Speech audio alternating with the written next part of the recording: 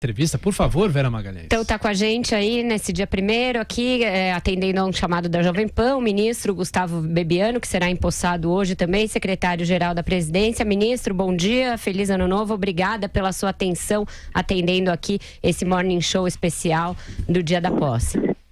Bom dia, Vera, bom dia, Denise, Tiago, Caio, Edgar, ah, bom dia a todos os ouvintes. Ministro, para começar, a gente queria que o senhor dissesse aqui para os ouvintes e para quem nos acompanha por imagens, é, qual vai ser a linha mestra do discurso de hoje de posse do presidente Jair Bolsonaro e o que, que ele vai indicar sobre esse início de mandato? Com qual disposição o presidente eleito aí com 55 milhões de votos assume hoje para governar o país? Vera, é, o Brasil nos últimos anos perdeu o senso de patriotismo, perdeu aquele vínculo com a sua bandeira e a mensagem principal do presidente eleito será nesse sentido. É, o resgate, o amor pela nossa pátria, o carinho que nós temos que ter pelo Brasil e principalmente a união de todos os brasileiros. E para que essa união possa se materializar, é, obviamente o governo tem que olhar para todos os brasileiros, aqueles que elegeram ou não o presidente Jair Bolsonaro, um governo para todos, é, de união, de prosperidade e trabalharmos para colocar o Brasil na posição que ele merece. E isso vai exigir, é claro, algumas medidas mais duras, ministro. Entre elas, a gente fala todo dia sobre a reforma da Previdência. O senhor já poderia dizer qual é o calendário para o envio e a votação dessa reforma e como o governo pretende fazer isso? Se já está claro se vai aproveitar alguma coisa do projeto que já tramita ou se vai enviar uma nova proposta? Vera, é, sem sombra de dúvidas, né, o país, nenhum país se faz apenas com meras intenções. Agora é o momento de ação e de mostrarmos efetividade é, naquilo que foi apresentado ao longo da campanha. Nenhum país pode ter condições de crescer se não houver o equilíbrio das suas contas. E o Brasil, para que alcance esse objetivo, passa é, obrigatoriamente pela Previdência.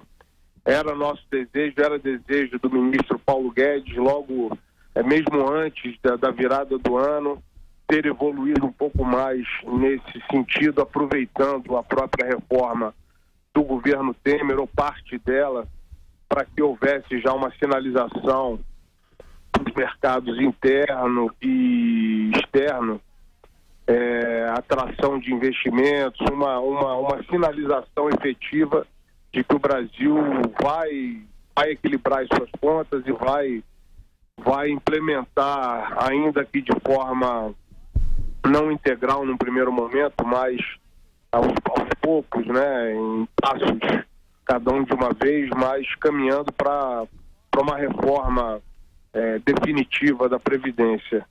E ministro Paulo Guedes goza da, da, da, confiança do presidente, goza da confiança de todos os ministros. Nós temos certeza que essa pauta está sendo bem, bem trabalhada e a partir do início do ano é, nós vamos fazer, teremos avanços significativos aí nessa, nesse segmento. Ministro, ah, perdão, Denise. Ministro Caio Coppola aqui, bom dia, feliz ano novo. Ah, muito sucesso aí, aí no governo nos próximos anos. O senhor falou em resgate do nacionalismo e do patriotismo, né? E também falou da importância de transformar discurso em ação. Ah, o senhor pode destacar alguns atos do governo executivo no sentido de, de resgatar esse nacionalismo? Quais medidas concretas ou primeiras medidas concretas nesse sentido que o senhor pode adiantar para nós que serão adotadas? Cara, eu acho que isso vem, esse, esse espírito, né? A gente está falando muito mais de um aspecto psicológico do que outra coisa, né? A, a, a, antes de qualquer ação humana, vem a vontade, vem o seu estado de espírito. Eu, e essa, essa, essa, esse espírito não nacionalista no sentido de, no sentido negativo, mas o resgate ao amor pelo Brasil. O brasileiro é, se acostumou a, a, vestir a camisa é, em épocas de Copa do Mundo e de 2013 para cá, 2014 para cá, houve diante da, da, dos descalabros impostos pelo PT, principalmente, uma esquerda alinhada a ditaduras, a, a, um pensamento que não, que não corresponde ao pensamento do brasileiro médio, do brasileiro de verdade.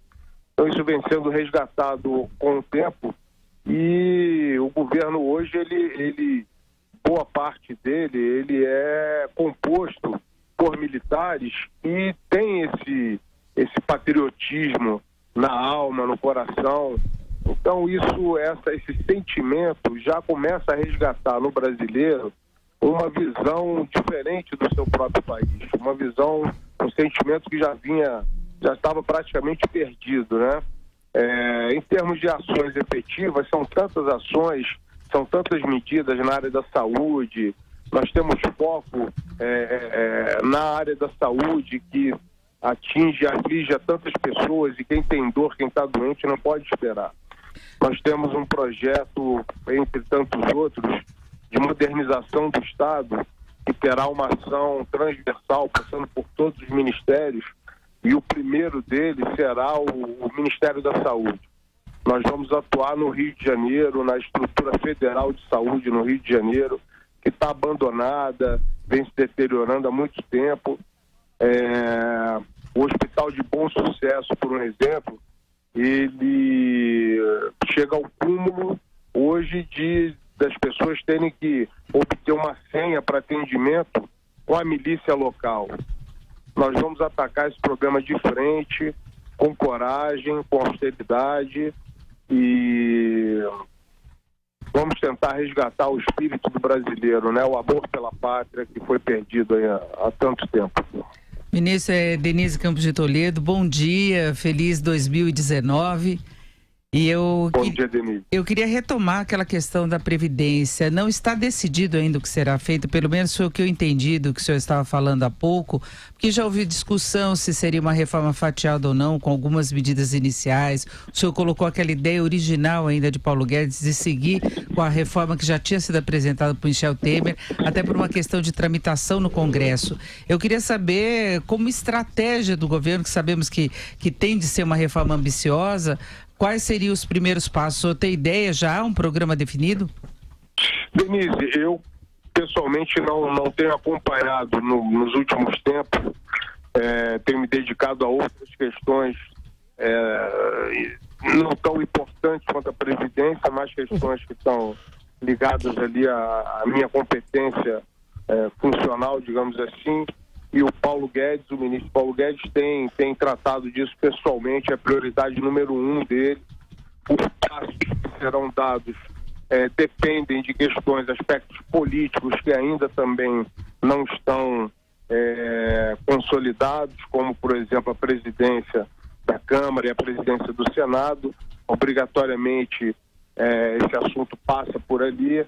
Não é? Então, até aqui, a questão tem sido tratada com com uma preocupação muito grande em relação a essa questão política que pode tanto nos ajudar como pode atrapalhar também.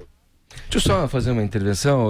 O, o Gustavo Bibiana, quem está falando é Edgar Piccoli. Eu queria só que você nos falasse um pouco qual é a tua expectativa frente aos 100 primeiros dias de governo é, relacionados à base aliada, que o presidente eleito Jair Bolsonaro vai contar com ela para aprovar suas medidas e efetivar as suas promessas de campanha já nesse momento inicial que é quando o governo assume, tem uma pujança diferenciada, digamos assim, é, mas vai enfrentar também uma resistência é, e uma oposição é, ferrenha, se não em números é, majoritários, mas uma oposição barulhenta.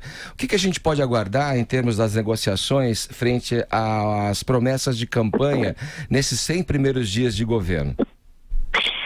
É, Edgar, o, como característica né, da, da, do presidente eleito, há a comunicação, a comunica, um poder de comunicação muito forte com o povo.